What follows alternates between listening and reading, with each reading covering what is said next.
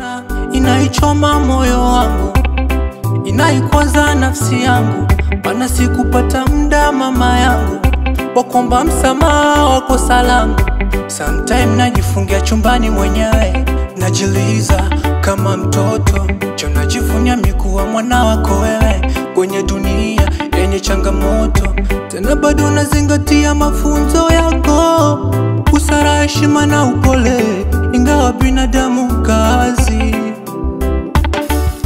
I miss you, yani leo zaidi ya jana, hasa siku kama hii. I miss you,